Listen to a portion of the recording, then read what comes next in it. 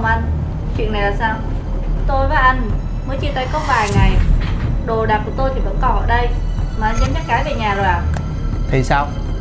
Hả?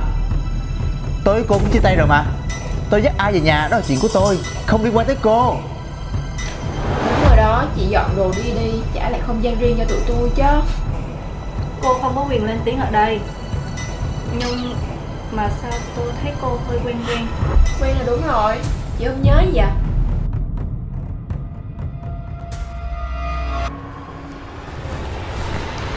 Thì à, Con nhỏ này. Đến đây coi. Sao anh xô người ta dữ vậy? Chỉ là vô tình đụng chúng thôi mà.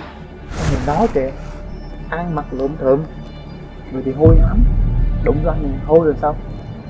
Em thấy anh quá đáng lắm rồi đó. Cái gì đâu quá đáng em? Nó chỉ là làm như trai thôi mà. Em không bên anh mà bên người ngoài hả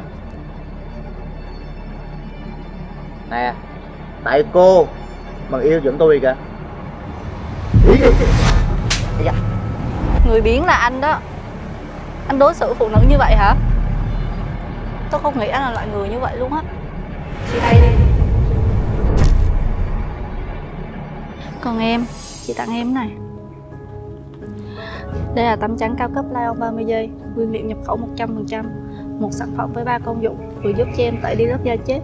Vừa giúp trắng sáng mịn màng nuôi dưỡng da từ sâu bên trong. Em sử dụng lần đầu thôi da đã bật tông rồi. Và khi mà em tắm xong sẽ còn có mùi thơm nữa. Em dùng đi. Khi mà em xinh đẹp rồi á Sẽ không còn ai khinh thường em nữa. Em cảm ơn chị.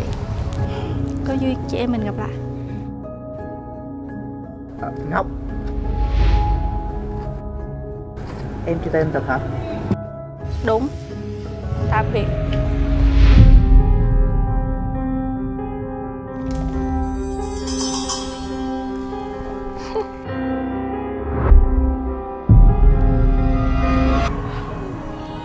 là cô à? Nhưng chuyện này là sao? Chuyện đến mức này rồi Thì tôi nói thật với cô luôn. Nha Đó là kế hoạch của tôi và Vi. Tôi nếu tôi không làm như vậy Thì sao cô chủ động chia tay tôi? Hả? Thì sao tôi và Vi có thể đường đường chính chính đến bên nhau? Đúng không? Thôi chị bình tĩnh đi, giận quá mất khôn đó.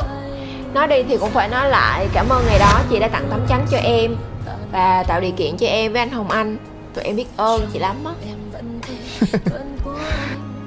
được. Hai người được lắm.